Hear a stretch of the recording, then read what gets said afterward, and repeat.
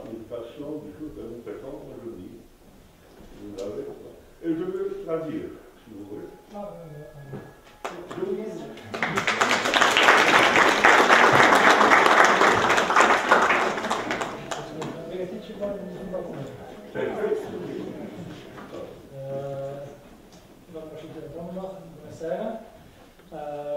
nu doresc să vă rețin foarte mult, pentru că nu am uh, programul din această seară.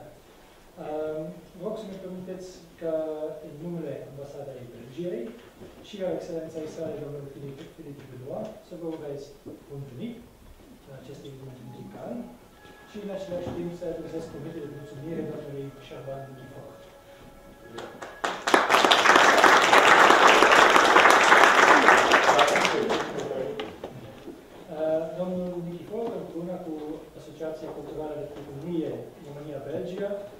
Reprezintă de mulți ani un pod important între compozitorii și muzicieni belgeni și români. A susținut colaborarea dintre aceștia și a făcut cunoscute partiturile ale compozitorilor belgeni în România. Acest concert, în ajunul Zilei Regiului, a devenit o tradiție prin organizarea anuală de evenimente muzicale pe care le apreciem foarte mult. Este o onoare pentru ambasadă ca acest eveniment să aibă loc sub un alt Vă mulțumesc pentru uh, prezența și să ne bucurăm împreună de acest concert, concert din nou live după 2 ani de COVID. Vă mulțumesc!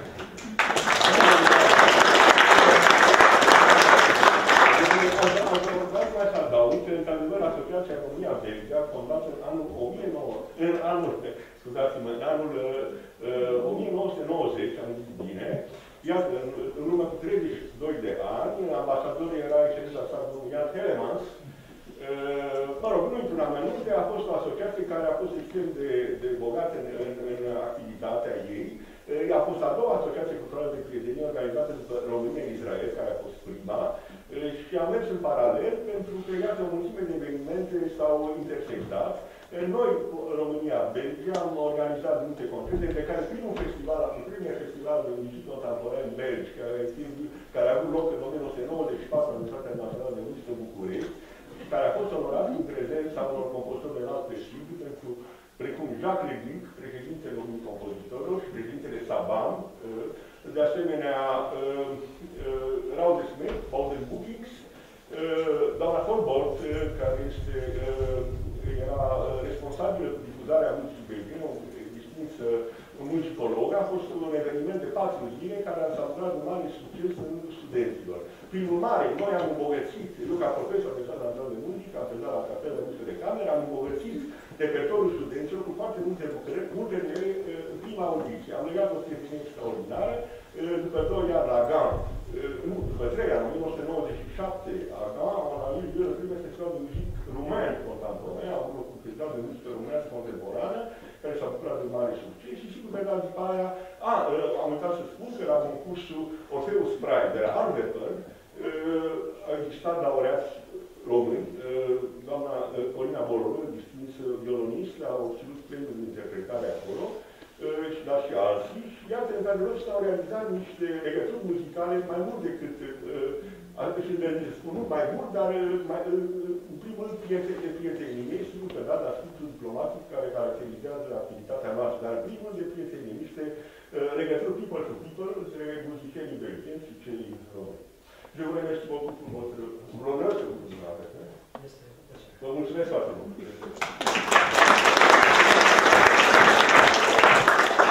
Programul din această seară cuprinde o serie de lucrări în prima audiție și un spectru, spectru stilistic foarte, foarte variat. Primul compozitor pe care voi avea plăcerea și onoarea să prezint chiar eu, se numește Andrei Laport, este un patriarh al muzicii belgiene, uh, are peste 80 de ani, 85 de ani și uh, exponent de seamă al postmodernismului muzical european.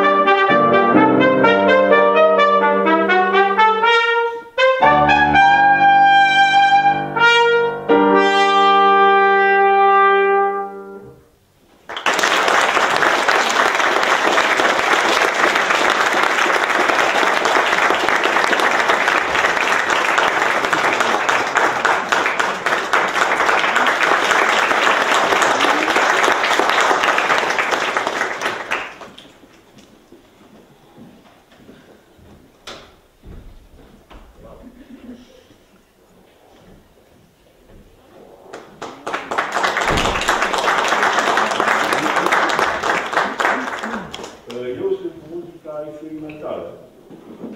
Uh, Acum voi cânta un care extraordinar, compusă de Lucien Postman, uh, profesor de compoziție la uh, Conservatorul din Gam, un mare compozitor. Este o lucrare care se numește Color and Silence și care a fost inițial compusă pentru o uh, expoziție de pictură ca muzică nu neapărat ambientală, muzică care să însoțească expoziția.